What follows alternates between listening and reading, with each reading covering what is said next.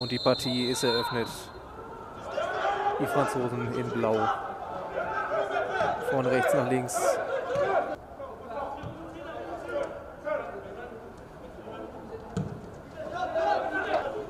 Schon einmal in der zweiten Bundesliga eingesetzt und im DFB-Pokal beim Cup.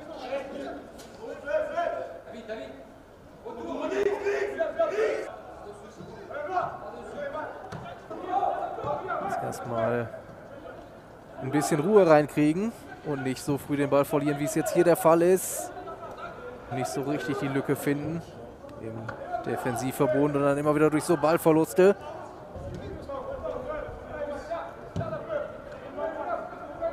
Auf deutscher Seite Guido Streichsbier, der Trainer. Jetzt mal von Mika Bauer. Und wenig jetzt Tempo an. Hätte gern einen Foul gehabt gegen Ella Rouge. Der dann hier direkt mal den Hackenträger. Kann den da rausköpfen. Und jetzt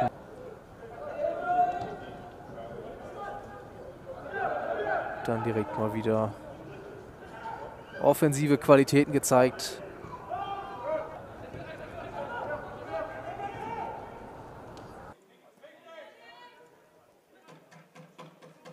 So, und dann gerade noch einmal mit dieser Chance.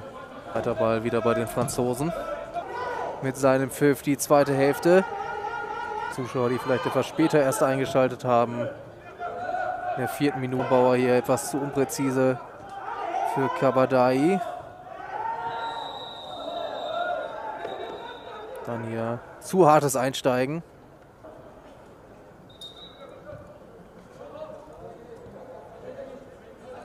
In die Partie kommen. Wenn sich die Gelegenheit ergibt. Da Kein schlechter Ball. Hätte gefährlich werden können, wenn Niehoff da dran bereinigt die Situation erstmal.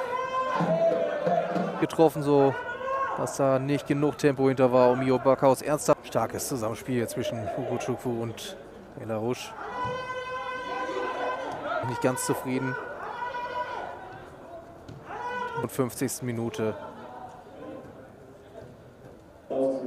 Aljoscha Kemmlein. Jetzt nicht mehr mit dabei. Dafür Aljoscha.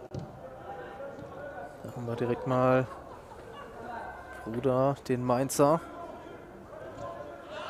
Der in Richtung Tor von Mio Backhaus oder eben auf den